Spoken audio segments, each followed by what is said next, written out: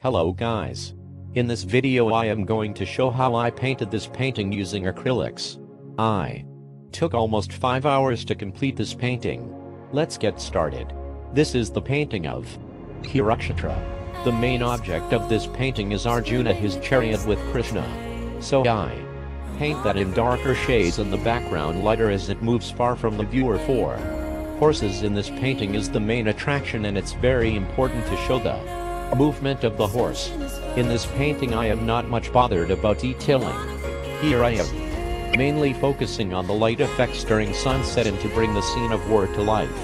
I painted it in three layers. First layer is to build the mess and painting second to bring texture third to bring the light effects.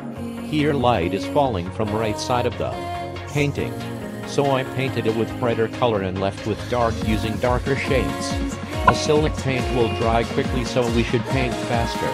So I prefer oil painting over acrylics because it remains wet and we can work on it even after two days. And acrylics becomes a little darker after drying but oil painting is made up of different pigments and it remains as it is. I used paint this picture in my primary classes so it is bit easier for me. And now my painting is almost done. Now I have to add some final details to this painting.